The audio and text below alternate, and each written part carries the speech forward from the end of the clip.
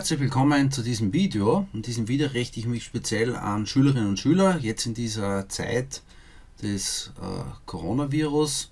Viele arbeiten von zu Hause und einige sollen da in Microsoft Teams arbeiten. Einige sind schon toll unterwegs, aber manche haben da vielleicht noch Schwierigkeiten, sich da zurechtzufinden. Ja, Microsoft Teams, was ist das? Da geht es um Austausch von Informationen, Dateien, Aufgabenstellungen für euch von den Lehrern und Lehrern. Und damit man bei Microsoft Teams mitmachen kann, braucht man eine E-Mail-Adresse und einen Zugangscode, den du von der Schule bekommst. Das heißt, wenn deine Schule da mitmacht, wie zum Beispiel alle österreichischen Bundesschulen, dann hast du Zugang zu diesem Microsoft Teams. Du gehst ähm, auf die Webseite, ich bin hier im Firefox, schaut aber im Google Chrome, Safari und so weiter gleich aus, gehst du zu www.office.com und gehst dann entweder hier oben auf Anmelden oder hier, klickst auf Anmelden und gibst dann die E-Mail-Adresse ein, die dir von der Schule ähm, zur Verfügung gestellt wurde. Ich gebe jetzt einmal meine ein und du solltest hier natürlich dann deine eingeben. So, ich habe jetzt meine E-Mail-Adresse eingegeben. Jetzt geht es weiter. Ich gebe dann mein Kennwort ein. Wenn du das das erste Mal fragst, wirst du dann vielleicht gebeten werden, dass du da deine äh, Telefonnummer bekannt gibst. Damit, falls du dein Passwort vergessen solltest, dir dann ein neues Passwort auf dein Handy geschickt werden könnte. Jetzt habe ich das eingegeben, gehe auf Anmelden. Jetzt werde ich gefragt, ob ich angemeldet bleiben möchte. Jetzt sage ich einmal in dem Fall Nein. Und jetzt komme ich zu der Startansicht von Office 365. Du siehst das hier oben und da habe ich dann mehrere Möglichkeiten. Und eine der Möglichkeiten, neben Word Online, Excel Online und so weiter, ist nämlich hier Teams. Ich klicke jetzt hier auf Teams drauf. Alternativ könntest du auch hier links oben hergehen und hier dann Teams auswählen. Ich mache das jetzt aber hier. Klicke auf Teams. Je nach Internetgeschwindigkeit, Serverauslastung dauert es mal mehr oder weniger lang. Was habe ich hier? Ich habe hier gleich einen Überblick, äh, wie es jeder Schüler sieht, wenn er einsteigt. Ähm, jeder stimmt auch nicht, sondern je nachdem, welche Teams du äh, von den Lehrern zur Verfügung gestellt bekommen hast. Was heißt Teams? Teams entspricht im Prinzip so etwas wie einer Klasse oder einem Kurs. Und zu jedem Team gehören dann wieder entsprechende Kanäle. Ich habe hier mehrere Teams. Und wenn ich mir dann zum Beispiel in einen Team dann ähm, hineinschaue, zum Beispiel hier in den Team 2020 4D AHS TXW, klicke ich einmal hinein. Dann sehe ich hier auf der linken Seite zwei sogenannte Kanäle. Das heißt, jeder Lehrer und jeder Lehrer kann da mehrere Kanäle hineingeben. Zum Beispiel könnte man für eine erste Lektion in einem Englischbuch einen eigene, eigenen Kanal hineingeben und dann auf der rechten Seite Materialien, Beiträge und so weiter, Aufgabenstellungen hineingeben und dann beim zweiten Kanal dann wieder andere Dinge dann hineingeben oder Dateien hinterlegen. Ja, dann zeige ich dir ähm, mal wahrscheinlich gleich, wie ich nochmal zurückkommen kann zu der Ansicht, wo ich dann alle Teams sehe. Ich klicke hier auf alle Teams und habe wieder all diese Teams hier dementsprechend dann zur Verfügung. Ich fange jetzt einmal so an und stelle mir vor, wie kannst du Kontakt aufnehmen zu deinen Lehrern. Da kannst du da hier oben hingehen, auf Suchen oder Befehl eingeben steht hier und dann gibst du den Namen deiner Lehrerin, deines Lehrers ein und dann wird dir das gleich eingeblendet. Ich gebe mal meinen ein. So, ich habe meinen Namen eingegeben, dann wird mir das hier angezeigt. Ich gehöre an dieser Schule an und jeder Schüler, der es hier in Microsoft eingibt, bekommt ihn dann angezeigt, sofern du an meiner Schule bist, klicke ich hier drauf und bekomme dann hier in diesem Fenster dann ein paar Dinge angezeigt. Ich bin nämlich hier jetzt gleich in einem Chat drinnen. Und beim Chat könnte ich jetzt hier, wenn ich es freigeschaltet habe, hier ein Videotelefonat mit dem Lehrer machen oder könnte hier einen Anruf machen, also einen Audioanruf. Also hier wird rein sprachlich angerufen.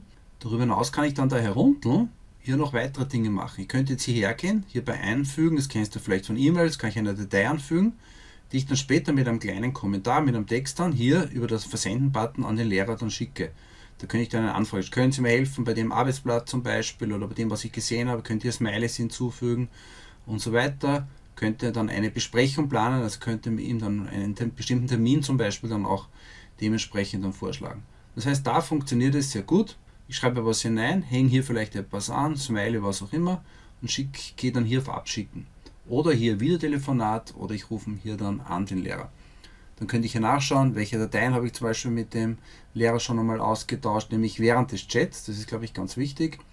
Da könnte ich dem Lehrer während des Gesprächs etwas freigeben. Das habe ich ja momentan jetzt hier in dem Fall ähm, noch nicht gemacht. Also, das wäre hier mal eine äh, Chatmöglichkeit, die es gäbe. Als nächstes möchte ich dir zeigen, ähm, was ist zum Schluss passiert, was ist gerade in letzter Zeit passiert. Ich gehe jetzt mal da links ein bisschen runter, wir waren gerade hier beim Chat.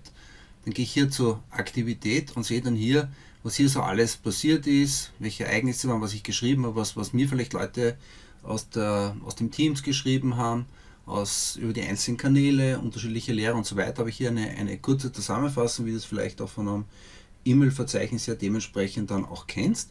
Und als nächstes gehe ich jetzt hier mal in die Teams-Übersicht.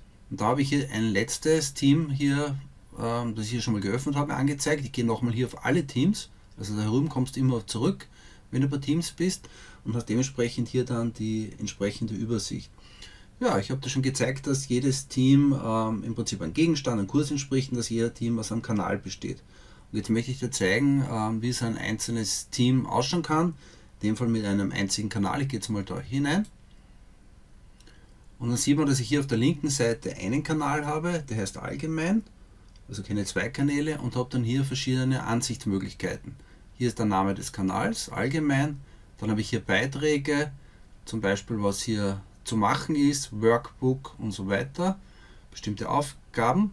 Wenn ich hier auf View Assign gehen würde, dann hätte ich hier die Möglichkeit, hier dann auch etwas abzugeben. Das heißt, wenn ich auf View Assign gehe, gehe ich da mal hinein, dann kann ich hier dann etwas hinzufügen. Das heißt, ich sehe hier schon mal, was ich machen soll. So Workbook Page 68 bis 69 durcharbeiten und soll dann hier das, was ich dann gemacht habe, vielleicht ein Foto vom Schulbuch, das ich gemacht habe, könnte ich dann hier über Arbeit hinzufügen dann hineingeben. Wie das geht, zeige ich dir gleich einmal. Ich gehe auf Arbeit hinzufügen, dann geht das hier auf, dann habe ich hier verschiedene Möglichkeiten, was zu hinterlegen. Ich habe vielleicht einen OneDrive-Ordner, das habe ich in anderen ähm, Videos schon einmal gezeigt. Das heißt, es gibt auch so einen Cloud-Speicher, da könnte ich hier direkt auf meinen Speicher zugreifen. Ich könnte aber auch dann ähm, eine neue Datei erstellen, hier mit Word Online zum Beispiel. Ich klicke jetzt hier mal auf Word, gebe dann einen Dateinamen und könnte das dann erstellen. Oder was ich jetzt aber gleich machen werde, ist nicht hier einen Link zu hinterlegen. Könnte ich einen Link zum Beispiel zu meiner Webseite willian.at jetzt hinterlegen. Nein, ich mache von diesem Gerät hier hochladen. Das heißt, eine Datei, die ich auf meinem PC, auf meinem Laptop gespeichert habe, kann ich hier heraufladen. Vielleicht ein fertig bearbeitetes Arbeitblatt oder ein Foto. Gehe jetzt hier rein, mache Testdoc X. Dann wird das jetzt so hochgeladen. Klicke auf Fertig und schon habe ich dann hier in diese Aufgabenstellung hinein diesen Text dann hereingeladen. Und wenn ich jetzt draufklicken würde auf Abgeben, würde beim Lehrer dann ähm, angezeigt werden, dass ich als äh, Schülerin, Schülerin diesen Text dann abgegeben habe und bin dann gesagt damit, ich bin praktisch fertig. Wenn zu meiner Aufgabe jetzt mehrere Dateien können, könnte ich hier mehrere hinzufügen. Ich kann es aber auch hier löschen, das mache ich jetzt hier. Und habe jetzt hier meine Aufgabe mal äh, da gelöscht. Das heißt, ich bin hier jetzt hier gerade im Kurs drinnen, im Kanal allgemein kann man hier Beiträge zum Beispiel anschauen, die hier waren. In dem Fall sind ja bei dem einen Kanal mehrere Aufgaben dabei, das ist dieses View Assignment. Geht er jeweils hinein und kann dann Sachen äh, dementsprechend dann ähm, heraufladen. Manchmal wirst du hier auch dann Dateien sehen, die dann auch bestimmte Aufgabenstellungen hinterlegen. Also hier zum Beispiel würde ich auf diese Datei draufklicken, könnte sie dann zum Beispiel herunterladen auf meinem PC, könnte etwas ausfüllen und könnte sie dann wieder hier in einem View Assignment dann heraufladen.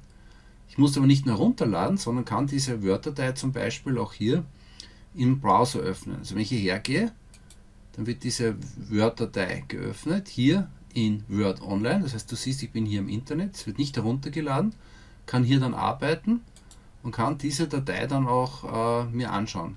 Ja. Ich mache das jetzt hier zu, gehe dann zurück. Wenn du am PC arbeiten möchtest, dann würde ich dir empfehlen, am Laptop dann auf herunterladen, dann kannst du was verändern und ladest es dann vielleicht auch dann wieder rauf. Das wäre so mal eine Möglichkeit. Dann gehe ich hier in den Bereich Dateien hinein und da habe ich einen Überblick zu all den Dateien, die hier in diesem äh, Kanal hier heraufgeladen wurden. Und da bin ich ja im Kanal allgemein und da könnte man das sehen, wenn es hier ein Kursnotizbuch jemand was ausgefüllt hätte, hätte ich hier wiederum die Möglichkeit. Und ich kann mir hier wiederum hergehen und kann mir dann die Aufgaben anschauen, die vielleicht schon abgelaufen sind, wo ich noch etwas äh, Zeit habe, das zum Beispiel zu machen. Und da unten zum Beispiel könnte ich dann schauen, okay, was habe ich dann schon erledigt, was habe ich dann schon bestätigt. Das würde dann hier zum Beispiel dann äh, angezeigt werden. Wenn die Lehrerin oder der Lehrer dir Noten vergibt über das Teams, dann siehst du hier dann die entsprechenden Beurteilungen ähm, von deinen ähm, Arbeiten. Gut. Dann waren wir hier bei den Aufgaben. Es gibt dann äh, hier die Möglichkeit, wie gesagt, dass du in diesem Kanal dann dementsprechend die Aufgaben anzeigen lassen kannst. Du kannst aber auch dann hier herausgehen. Gehen wir nochmal zu alle Teams. Und du gehst dann hier auf Aufgaben und du siehst dann hier wieder all deine äh, Teams angezeigt. Ja, also da triffst du noch gar nicht die Auswahl, ob du einen bestimmten Kanal möchtest. Ich gehe zum Beispiel jetzt hier auf Englisch, klicke auf Weiter und bekomme dann wieder genau diese Aufgaben angezeigt, die ich dir vorhin ähm, schon gezeigt habe. Also, Aufgaben rufst du auf über Aufgaben. Ja, geht mal hierher, dann könnte ich mir wieder einen anderen zum Kurs zum Beispiel wählen. Oder du gehst hinein unter Teams, bekommst dann all deine Teams angezeigt mit den entsprechenden Kursen, mit den entsprechenden Kanälen, sagt man ja da bei Teams, und kannst dann, wenn du hier jeweils draufklickst, kannst du hier auf Aufgaben gehen und kannst hier wiederum die entsprechenden Aufgaben dir anzeigen lassen. Dann habe ich dir schon gezeigt, wie du die Aufgaben dann erfüllen kannst. Das heißt, du gehst dann hinein, zum Beispiel hier, ladest hier dann die Arbeit dann zum Beispiel ähm, dementsprechend dann auch herauf. Jetzt vielleicht zum Schluss noch äh, das vorletzte. Du gehst auf Dateien. Das ist nämlich die Frage, wie kann man den Dateien teilen wie kann man sie weitergeben. Du gehst zum Beispiel hier zu dieser Datei, wählst dann herunterladen, ja, gibst dementsprechend dann hier die Möglichkeit, dass ich zu einer bestimmten Datei dann herunterlade.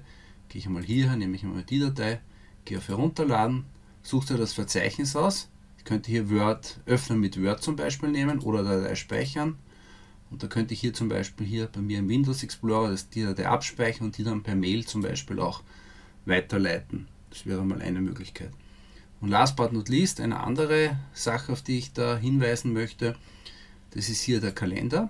Da kannst du deinen eigenen Kalender hier anlegen, beziehungsweise wenn dir die Lehrerinnen und Lehrer hier Termine vorgeben, siehst du sehr schön, was bis zu einem bestimmten Zeitpunkt dann zu machen ist.